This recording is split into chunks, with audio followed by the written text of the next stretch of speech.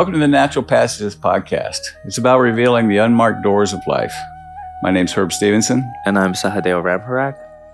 We are delighted to have you join us as we engage in an ongoing conversation about the ever changing world of spiritual awakening. In the weeks ahead, we'll be sharing my own 30 year journey, which ranges from moments of seriousness to moments of humor. My intention is that my experience will resonate with you and help you gain insight into your own unique journey. Anticipate thought provoking discussion, shared perspectives, and moments of laughter as we explore the concept of living in the present moment. During our time on this podcast, we delve into the practical aspects of spirituality. We'll be offering simple techniques and different viewpoints to assist you on your personal spiritual path. So, take a minute, unwind, relax, and let's embark on this enlightening journey together. Thank you for tuning in. Good to see you again. Great to see you. It's a pleasure to be here. I like being in your presence. That's mutual. So I, I understand you have some questions for me. Yes. So one of the questions that I have is last time we were talking about the natural passages in life.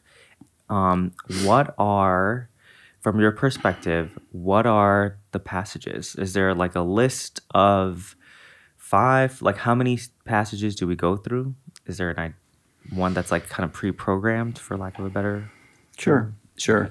Um, if you go back into the indigenous cultures, uh, depending on the culture, they would have a rite of passage mm-hmm. periodically. So one of them that's most well known is when people uh, we we still have these some of these passages. So for the Jewish community, it's bar mitzvah and bat mitzvahs. Uh, for the Native Americans, it's when they would go do a um, of various uh, types of vision quests, which mm-hmm. were actually, we call them vision quests. Mm-hmm. Um, they were actually called lamenting for a vision, which is I'm crying to remember why I came onto the earth. Mm. And so it would be four days without food and water and mm-hmm. in the woods to face fears and do various things, which would be a way of transferring from um, childhood to adulthood, beginning mm-hmm. to realize there's more to life, and there was teachings and stuff. From the Natural Passages program, what I've done is is uh, I've integrated the medicine wheel from indigenous cultures with uh, Jungian psychology, Robert Monroe as well as Carl Jung. So there's four distinct parts of us that we go mm-hmm. through chronologically. So if we just stick with men, and then mm-hmm. I'll reverse it for women, uh, a passage for men is is usually between zero and ten. A boy, based on what's role modeled to them, formulates their masculine energy. Mm-hmm. Masculine energy basically means the courage to be present, and and and the, the courage to show up to life. Mm. Then at 10, 5 to t- uh, 10 uh, is starting point. Now it's it's earlier because they go to school. Boys were sent to school to do what? To learn. Mm-hmm. And that's a place um, where when you're learning, you're learning what's called magic mm-hmm. read, write, arithmetic. That's all magic to the mm-hmm. mind. It's like, oh, how do you do it? You know, one plus one. Oh, that makes two, and and mm-hmm. it, it's magical. Yeah. And so, but it also is laying the groundwork for what's going to be the vocation of how they work in life. In the old days, it was they learned how to plant, hunt, do various other things. So that's a natural progression. And so that one's about respect. And the respect is interesting. It's respect for yourself and mm-hmm. respect for others. Mm. And it becomes difficult because during that period, we're actually learning all this magic and we haven't quite developed enough to have an ethical understanding of how to use it appropriately. And that's why it's about respect for self and respect for others. others yeah. Because if you get into it, addictive behavior happens during this period. So let's say it's 10 to 35, 40. Okay. It's when people get clever. Mm-hmm. How do I compete? Get your job. Yeah. All sorts of crazy stuff human beings yeah. do to each other. Yeah. And as you mature, though, in the magician energy, what ends up happening is as you get towards the latter part, is you begin to realize that you formulate specific values. Mm-hmm. And those values then is what happens 45 to 55, 60. We learn this is men, compassion. And so you see a lot of softening of the heart and how they relate. Uh, and it, it's also a place where it's, it's, it's an interesting is, is during this period is there, there can be often a lot of divorces because as the man softens, um, he may not have stayed in relationship with his spouse. Um, his heart's awakening, so it gets projected onto somebody else, mm. and we're we're not really paying attention. And I'll elaborate on that. And then the last one is our latter part of our life. It's it's about generosity, and during that last place is where we realize we can initiate, create, and support change mm-hmm. in the people in our life, but we have to do without outcome because we have to give them the freedom to be who they are. Mm-hmm. Now it's kind of crazy we don't learn that until we're older. Yeah. In indigenous cultures, it was built in. The grandparents raised the children. Right. Yeah. So they help them develop these in a communal type of way.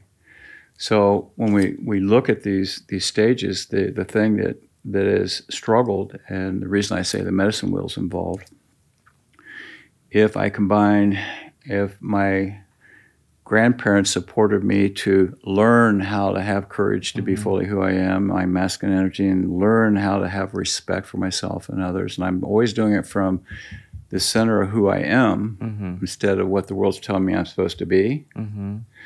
We develop what I call internal authority. We live in the center, which is based on spiritual practices, traditions everywhere. Yeah. We always have to come back to the self if I learn compassion and I'm integrating courage, mm-hmm. respect, and compassion, my sense of self grows further. Mm-hmm. And finally, I go to the last one, and I always bring it back to the center, mm-hmm. which is my generosity for myself and others. And so the the stages actually do break down in various forms of, of psychology. There's other um, stage mm-hmm. programs, I think I guess you would call it, or models that mm-hmm. talk about the same type of thing. Um, the interesting thing is when you reverse the process and go to women, mm-hmm. uh, traditionally, the little boys learn how to fight and play and mm-hmm. sports and all that stuff, and little girls traditionally learn how to play with dolls, which means they learn how to be more relational. Mm-hmm. And because in, historically they would have get married early, mm-hmm. they would move to generosity for self and others, and it would be a place where they had to learn to do that because they're raising the children, mm-hmm. and he's down here learning to work and support, mm-hmm. and so they kind of stay in polar opposites, and they move again. She goes to the place of courage to be fully who she is, and he learns compassion. And this is why mm. divorces happen because she's now saying is is you know I want my due. I raised those kids. Mm-hmm. You've ignored me, and now you want to cuddle? I don't think so. okay. Mm-hmm. And then she ends up in the crone, and he ends up in generosity. If they both did it from an indigenous point of view of staying centered mm-hmm. and connected to each other, they have a balanced marriage, and it lasts you know forever what happened in modern life is she learns relationship to a degree. He learns courage, uh, and uh, but she now goes to college and learns magic. So she knows the same things he does, mm-hmm, mm-hmm. and she's also asked to carry the burden of raising the babies. mm-hmm. Okay, so this is why we've had so many difficulties about how do we redefine masculine and feminine energy because we've placed it into role conflicts. Mm. And so then she goes on over here and, and it gets even more courageous because she's realizing I can do everything you did.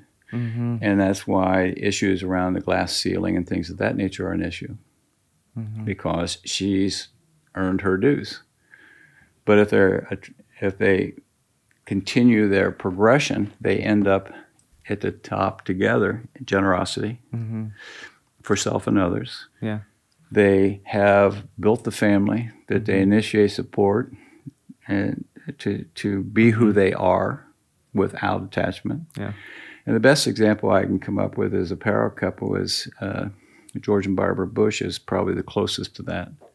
Okay. Family was first, core values, service to the to the country. Mm-hmm. Um, am I saying it's perfect? No, but that was their core, and they did that, and that was reflected in all their kids as they ended up building their own careers. Mm. That makes sense. Yeah, it does. And it's interesting because when you look at Hinduism too, it has a similar thing. Like there's four stages. Yes. The one to twenty five. I think you're supposed to like they call it the brahmacharya stage. I could be incorrect um, in the pronunciation, but that's your learning. So Mm-hmm. everyone is supposed to go try to learn their magic or learn how whatever your craft is that you're gonna how you survive, how to build your life. And then 25 to I think 50 is karma. That's the stage of karma, which is you. I think you had mentioned this too. Like till 40 was indulging in the pleasures of life, and then um, 50 to 75 is about um, charity community like giving back generosity right you've built something now you're able to make a community impact and Right. then 75 to 100 is uh, i think more compassion to yourself but really building your your spiritual connection solidifying that and i think building your family like passing down that information so you can make an easy exit um, so it mirrors similar patterns Almost all spiritual traditions Yeah. have these, but we don't teach them. Yeah and and we uh, unless you follow like in, in the Hindi uh, Mm-hmm. process of of learning the spiritual practices and the Mm-hmm. dynamics and and living them, living them yeah then what's happened in society is is we chase shiny objects, hmm okay, and instead of sitting down saying is is how does this fit to who I am hmm and who I want to be.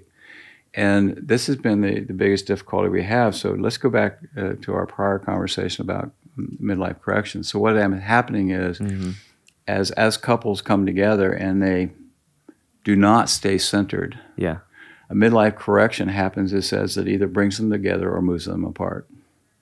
Uh, frequently, one or the other says, "I'm unhappy."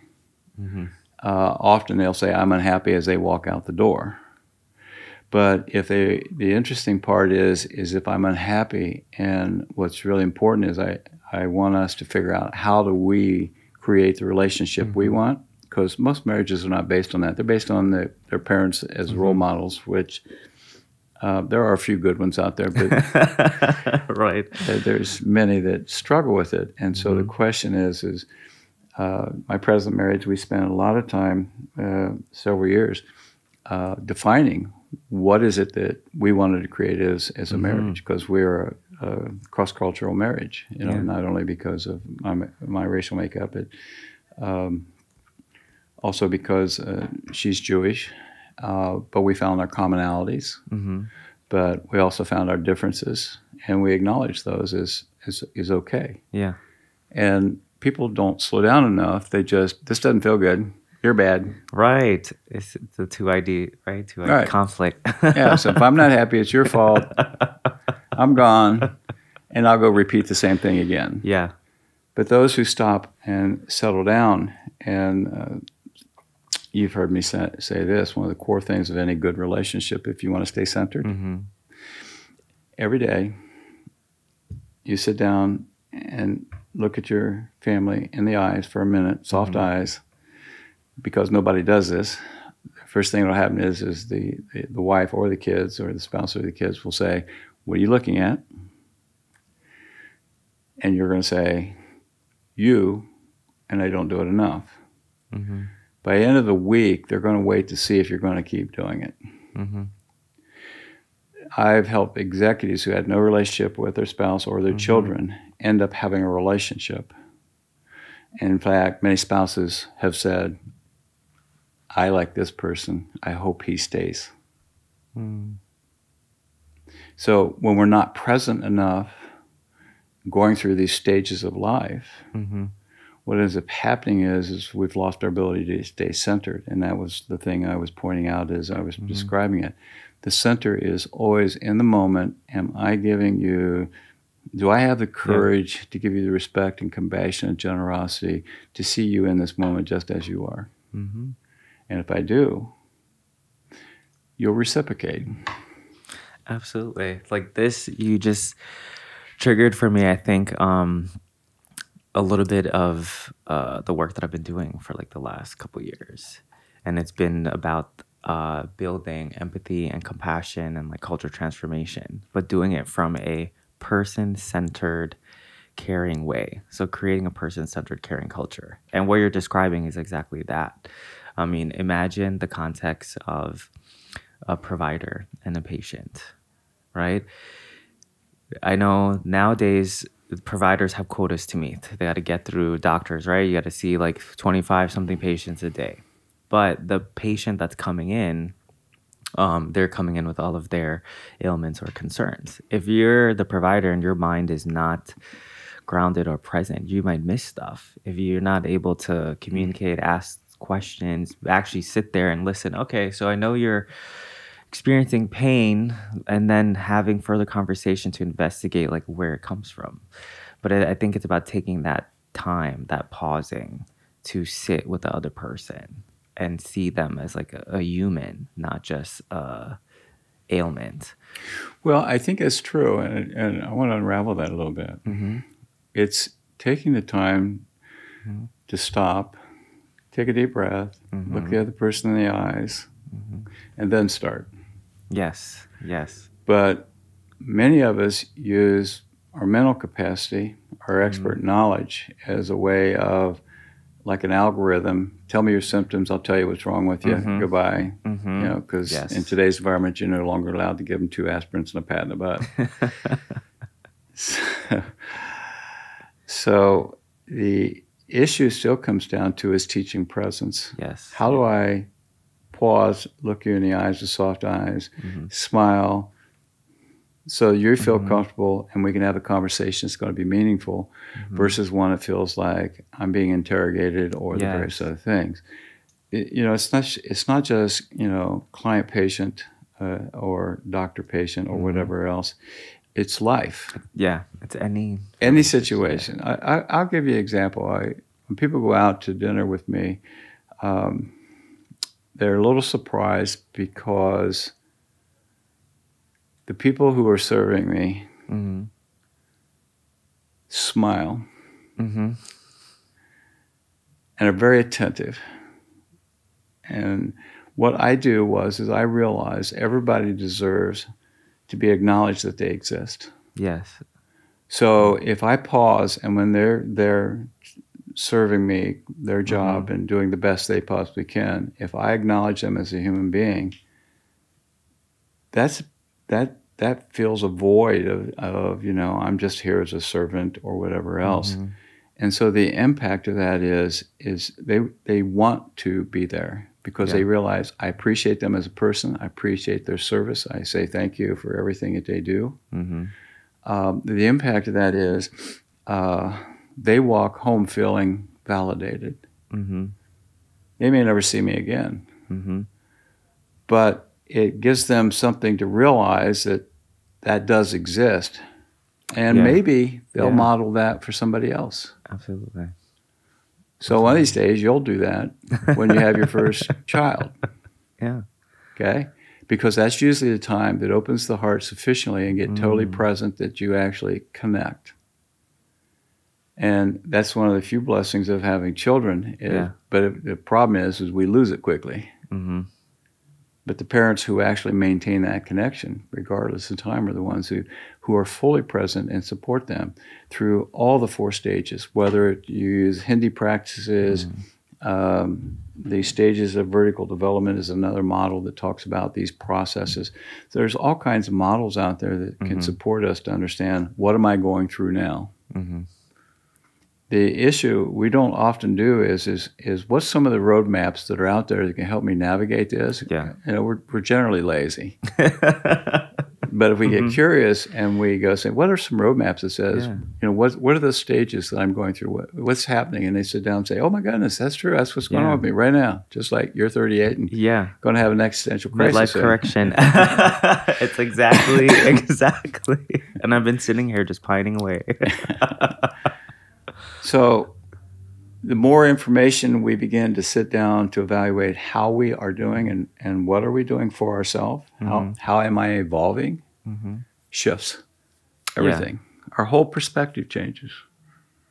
And uh, the life we can create become much more comfortable. People ask me, what about joy? And I said, well, you know, joy is a moment. But the more present you get, I I'm pretty contented most every day. I was gonna say, like, I feel when I'm grounded, you know, and focused and can slow down a little bit, I can. You can. I don't know. I can live in that space. I can live in just like you said that contentment. I could live in a space of the good is as great as the bad. There is like a calmness. There is a. I don't know. I just call it all joy because I don't. I'm not upset about anything. Well, it can be. It can have moments of joy, but uh, Yeah, you know, there's just- peaks. I, I'll, I'll take contentment. you take contentment. Yeah. Yeah, because I don't need it to be something other than it is. Than what it is. Mm-hmm. Well, that's what you just described. Now, that what you you also highlighted is I have those moments, but I don't work very hard at creating more. right. So I'm waiting for the next one to happen. That's Yeah. human nature. Most Yeah. people do that. They they think that it's if I do the things society's told me I'm supposed to do, Mm-hmm. I, I will be happy. I'll have the white picket fence. I'll have the family, and they feel hollow. Yeah. And that that's that's men and women. Mm-hmm. You know, they've done all what they're supposed to do. Well, you know, the truth of the matter is God never wrote a manual said you're supposed to do all these things. What he did suggest was is that you treat people well, treat yourself well, Mm-hmm. And that you you live a good centered life, Mm-hmm. which would be have courage, respect for self and other, compassion and generosity. It breaks it down to something as simple as that. Mm-hmm. Uh, instead of chasing a dollar or whatever else that they chase. Yeah. And it's amazing, but like, what was the hardest thing for you that you had to like unpack? Like, what was the one of the hardest beliefs that you had to like let go of or change? Well, most people struggle with this. If you've been taught a very strong work ethic, Mhm. work ethic is based on a lot of shoulds. Mm. A should. So to be a good person or to be uh, have self worth, Yeah. um, decent human being, take your pick, uh, not be a bad person. Mhm. Um, you work, um, and you're subordinate to your employer. Now, I grew up in the era when it was supposedly if you put in the time, your employer would take care of you through your life. That no longer exists anymore. Right. And that's completely changed even further because COVID's realized that people have a right to say, well, if you don't, if you you can't provide my work conditions, I'm leaving. Yeah. And there's a labor shortage, so there's a whole lot of shaking and rattling going up at the top of executive suites of saying Mhm. is, how do we address this whole new model of doing business? Yeah. So it's we're in a, ma- a massive state of transition Yeah. and I, I think it's it's going to continue. And then when I apply it to you personally, is it's that same thing. Is you know what really makes me happy. hmm So I may I suggest to people do this frequently. Is besides meditating in silence and quiet, go for a walk. Yeah.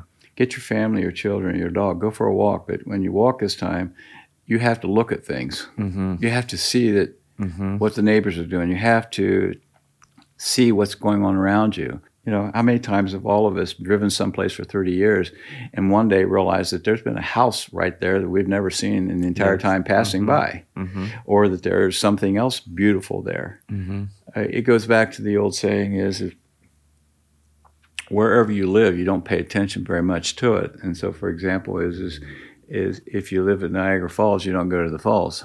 That's for tourists. Okay, so it's the same kind of thing. Is we fall into these habitual ruts of how we go to work, how we do the various other things, and uh, it's taking the time. Meditation allows us just to ask ourselves, what am I not seeing about myself, or what am I missing? What I, what am I Mhm. ignoring that I really want to do? So I often have people think about, you know, what? Tell me about a dream you had that when you were a child. hmm And now that will reveal the qualities of the things that they really wanted in their life. And I say, Do we have it now? And if they say no, I says, Wonder what it would take to get it. hmm And you start asking the question. The interesting thing is, we already know the answer. We have to be willing and have the courage to ask the question. Yeah. And we don't. Yeah. Pardon me. Is it also the courage then to like follow through? Well, follow through is a big piece of it Mhm. because, you know, the mind will allow you to distract yourself to be entertained, Mm-hmm. but it will always come back to the core of what you're supposed to do. Mm-hmm. You chase shiny objects. You're one of the most creative people I know. You can come up with more amazing ideas, but you get excited with the ideas. yeah. What you're going to start doing in the second half of your life is picking and choosing and saying which ones do I want to do. Mm-hmm. An example is is you're doing this with me. Mm-hmm. It's making a commitment to something you've wanted to do, Mm-hmm. and my, I, will, I will provide the discipline that we don't chase too many shiny objects. yes. And even in this uh, journey of myself, it's I had to develop this awareness too, and like acceptance of um, who I am, which is running around, maybe do getting distracted or chasing shiny objects. Uh, the adventurous spirit, the curiosity of life. Um, and it's funny when I moved to New York, even in my work role, um, people had started to ask me. I became aware of myself through other people, and they would ask me like, "Do you have ADD? Do you have ADHD?" And I really had to look and analyze that. Um, by the way, those tests are really expensive and they're outside of insurance, so it is available that you could do that. However, I asked one of my friends that had known me, I think, since college for many years as well. And I was like, Do you think that I could have ADD? Like, what do you. She's like, Since I've known you, you've always been like this. This is just a part of like who you are. Um, and so accepting it and working with other people that might accept that and know that about you. Well, now we can create moves because we're working with strengths, something that's not seen as such like a, a negative thing, right?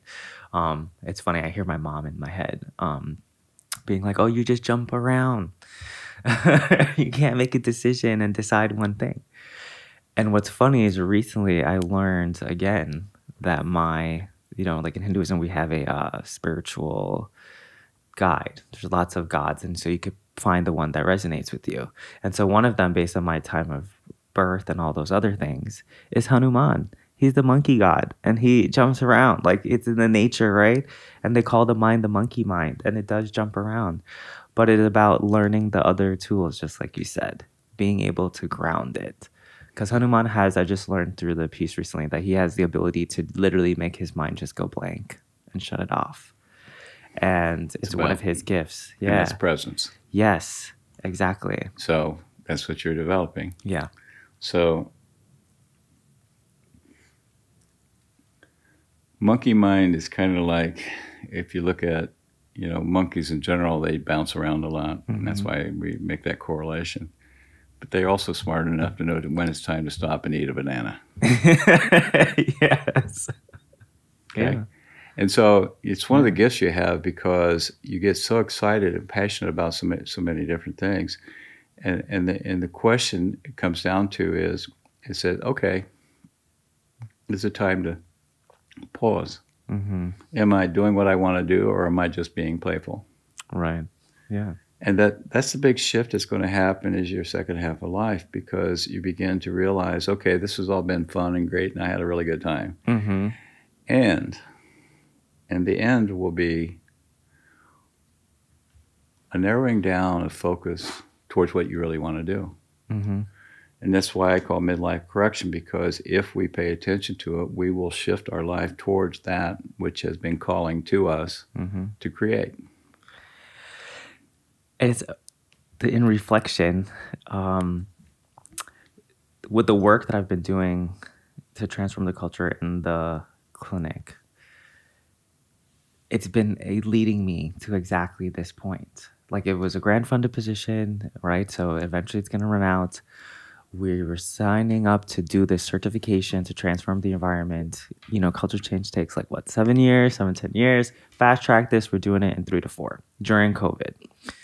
And I I loved the idea of it and I came in and it was about this doing person centered care mm-hmm. and I realized the way that I could do the only way I could have done this work is by using everything that I learned from our program from grad school mm-hmm. that presence Mhm. creating change in people building compassion creating opening their hearts it starts with other people just being grounded and showing them dignity. You know, coming into the government environment because it's a city healthcare system.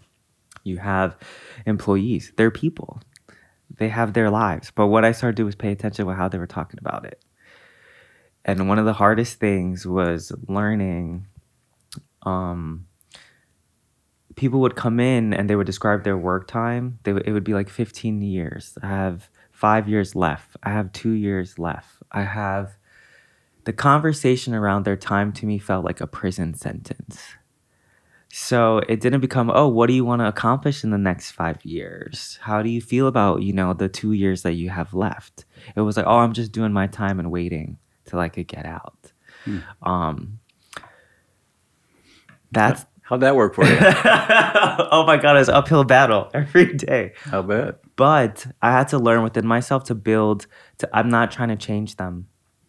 It is. I mean, I am, but in the sense of they have to want to see their life in like a different way. All I could do is open doorways. All I could do is ask questions. Maybe no one ever talked to them. Well, what do you want to do for the next five years that you're here? And if that inspires a little bit of hope, that opens their heart a tiny little bit and changes their workday, even for like five minutes from that conversation with me, then it'll change the impact that they'll have on a patient. It'll change the impact that they'll have on their coworker. Sure.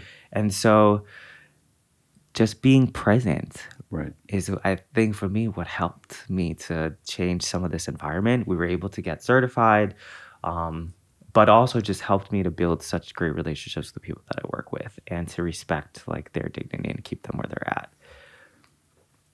I'm not a leader, like I wasn't, you know, but I am don't have that official title, but I'm a little leader in that space. But this work was calling to me and it's something that I'm like, oh my God, you've been preparing for this all this time. And one day, it, I think in one of our conversations, it hit me. And this was like what I want to do. I want, and which is what you do. Um, holding space, being grounded, and allowing my presence, working with my presence to just, that creates enough change in itself. Sure. It will always change, help enough. Mm-hmm. It, it makes a precious moment for many people. Yes. And so yes. that's the key to it as we continue to, to discuss uh, then during this podcast is is one of the unmarked doors is not understanding the simplicity of life is actually based on learning how to be present again. Mm-hmm. So the cycle of life is we start in innocence and we end in innocence. Mm-hmm. What innocence is actually pure presence because the monkey mind's not ruling the roost. Mm-hmm. And so years ago, I was very ambitious like you and was going to change the world. And one day I realized the world doesn't need changed, but it would be a better world if I support one person at a time. Mm. And that is more than enough. So you did your part in there. And for me, that's where I'm at right now. I want to feel like, and it's so funny because it came from, I think, a conversation I had with my dad and he said something to me. So, what he said was, I thought you were going to change the world and we had all these like hopes that you're going to do all these things. And I looked at him and I was like, I felt all this like hurt. I was like, oh my God. But all I could look at him at that moment in time and look at him and say was, okay, I'm hearing how you feel. And I was like, but I don't think you understood maybe how I have and to give myself that space to even own that maybe my presence, maybe the path I've been on has been able to. I got confirmed with the role that I'm in now that I definitely, well, I hope I did. We got the certification, so hopefully it made a sure. difference, right? Sure. But I was like, you missed all the other thing. Like I, there's cultural change that happened here. Um, there's all these wonderful things that I've done, but you gotta open the perspective. We you gotta learn how. Maybe I didn't change it in your way yet, or maybe I have already, and you just never took the never asked, and I never showed it to you. I never brought it to you to like be like, hey, this is what I did. But um, no, I'm motivated by it. did he bit. respond to you? Um, he not really. I think maybe we could revisit the conversation because we're in a little different place um, for him to oh, take the take the time to like see. Um, but that also requires him to be in that space to be able to like receive and be grounded and sure. not in judger mode and stuff like that. The good thing about presence is it's yeah. contagious. Yeah. But you have to be patient. I call Yeah. it patiently persistent. Yes. So the more you're present, eventually they wake up. Yes. And that is what I think I've been seeing that they they're just operating out of fear, right? They want great things, they're parents, they want great things for their kids. Well, but until that's- I show them and I have confidence in that and I Sure. could stand in my own courage and like put my voice down and be there um and not get like swayed by them, that's how they will then relax. Well, it's called external expectations. Mhm. And it's not allowing you to be who you are. yeah. so let's close for today. Um,